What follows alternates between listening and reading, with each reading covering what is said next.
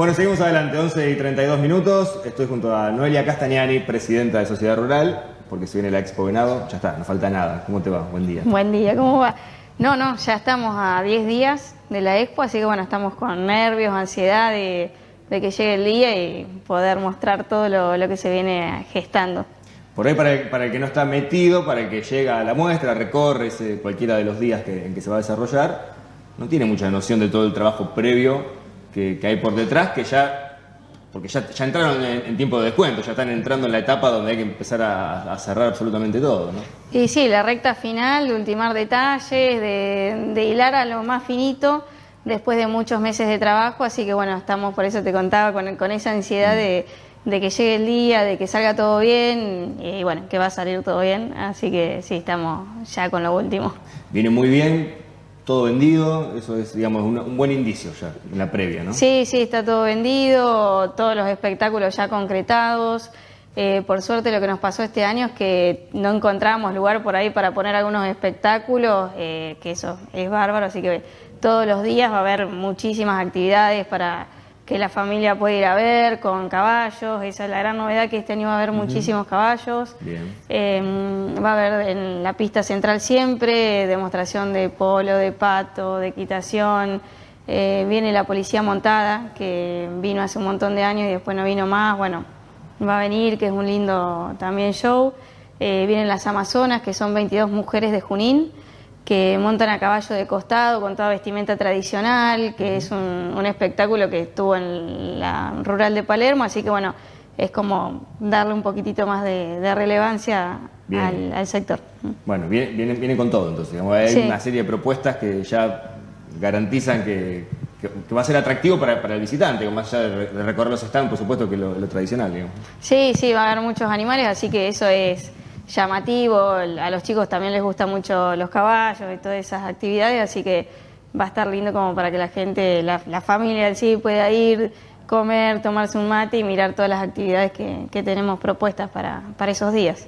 Bueno, porque lo tradicional va a estar todo, el, el pabellón marcosiani con los stands, eso va a estar, la parte de granja también, por supuesto. Eh, lo que es granja, y te corrijo. A ver, no, porque viste que estaba lo de gripe aviar y Senasa ah, alargó una resolución, entonces lo que es ave de corral y de granja no va, no va a haber. Eh, va a haber sí ovinos y porcinos. Bueno, eh, ahí está. Algo, sí. Bueno, un tema coyuntural que obviamente excede a, la organización, digamos, un tema de, la gripe aviar y demás. Sí. Pero bueno, pero van a, estar los animales para quien quiera ver y, y bueno, también espectáculos la Expo en todo su, su apogeo, ¿no? En, esta, forma que ha encontrado ya hace unos cuantos años, pero siempre creciendo y agregando alguna cosa más. Sí, em, este creo que es el segundo año, ya que se hace el Día del Productor, que es el viernes, que va a haber em, eh, dos charlas muy importantes eh, de dos disertantes destinados al agro, a la ganadería y a la agricultura. Y el lunes, que es el último día de la muestra, va a estar cerrando la muestra junto con el sorteo del auto cero kilómetro y la moto, eh, la esencia de la cumbia como, como espectáculo, digamos, eh, para que la gente pueda ir a disfrutarlo. Bien. Y mover un poco el esqueleto, así que... Sí, claro, para, para relajarse después de, los cuatro días. Claro. eh, Noelia, bueno, eh, ya arrancaron de algún modo también el fin de semana con lo que fue la, caravana de la producción, ¿no? que fue también una, una, buena manera de generar ese clima ya de, de Expo, ¿no? Sí, también para nosotros fue como toda una aventura porque no, no, no la habíamos hecho nunca mm. y bueno, la verdad que salió muy linda, la gente se prestó, lo, interesante es que como veníamos repitiendo ya el recorrido, hubo gente que esperaba fuera de las casas, muchos chicos, eh, sacándose fotos con los caballos, con los tractores, así que bueno, fue una manera de, de poder integrar a, a, la comunidad lo que se va a vivir esos cuatro días de, Expo. En cuanto a visitas de autoridades y demás, ¿ya tienen confirmaciones? ¿Todavía trabajando en eso?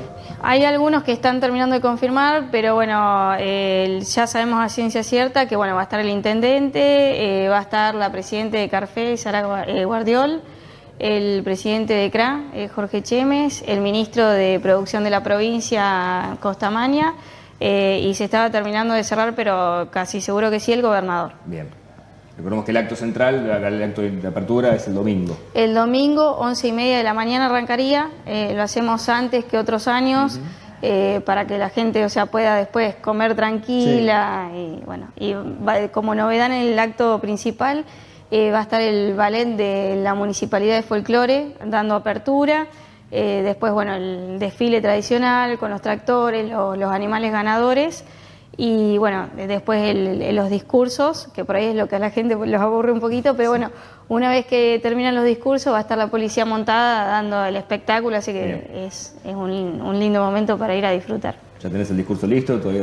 Sí, pero tengo que retocar ahí dos o tres cositas. Lo, lo, leo, lo retoco, lo leo, lo retoco, así que... Está bien. Me imagino que habrás estado en Palermo ¿Habrás recorrido seguramente? ¿Estuviste? Eh, no estuve, no, pude ir por eh, problemas laborales míos y también para terminar de, acomodar algunas cosas de la expo que, estuvimos ahí a fondo, pero no, me lo perdí. No estuviste vos, pero gente del entorno seguramente estuvo. ¿Cuál es el clima que se percibe para el campo, digamos? ¿no? También pensando en cómo va, cómo va a darse también la, expo. esto, es bastante clave, ¿no? Cómo está el, humor del, sector. Y está mm, con un, yo digo freno de mano puesto, mm. eh, más que nada porque, bueno, a un año electoral que no se saben qué políticas no van a encontrar eh, en mm. el sector, eh, la gente está caminando, digamos, con, con pie de pluma. Eh, y otra realidad que es que venimos de, esta gran seca y todavía tampoco tenemos lluvias contundentes como para que nos den un panorama de decir, bueno, lo político lo dejamos de lado, pero por lo menos tenemos el agua, que es lo que necesitamos para sembrar, y en eso venimos medios complicados, así que, y el panorama tampoco es muy, muy alentador. Así que, esperemos que llueva, como para ayudar un poco más el ánimo. Hasta ahora había mayores expectativas de lo que se concretó, ¿no? Con la lluvia, los pronósticos marcaban otra cosa. Sí, sí, sí, sí. Bueno, ayer el ministro Costamaña hablaba de que faltaban 500 milímetros en la provincia, eso más o menos coincide en esa mirada. Sí, sí, sí, sí, falta, falta. Así que los trigos, por ejemplo, están sembrados, la gente que sembró y que pudo sembrar, eh, vino como un regalo del cielo la, última lluvia de esos veintitantos de milímetros, que bueno, fue como un alivio, pero ahora necesitamos más porque el cultivo ya está entrando en la etapa crítica que define su, su rendimiento. Así que bueno, estamos todos mirando al cielo y rezando para, para que llueva. Que llueva menos el fin de semana que Claro, que llueva cuando quiera menos esos, esos cuatro días. Claro, eso es fundamental. Recordemos, Noelia, eh, los horarios, los días, las entradas. Dale. toda la data para la gente que obviamente ya, ya lo tiene agendado, pero bueno, para terminar de... Eh, bueno, las entradas ya están a la venta. Eh, si entran al perfil de Instagram de la Rural, está el link que los va a llevar directamente a la venta de las entradas online. Bien. Eh, hay cuatro puntos de venta, que uno es la Sociedad Rural, Pampero, tanto en la sucursal que tiene en Belgrano como el que está en ruta, y la Vinería La Viña, eh, que está en Hipólito Yrigoyen y Ascuena, me parece. Sí. Eh, bueno, y después, como todos los años, en la boletería 700, eh, a 700 pesos con el papel convencional.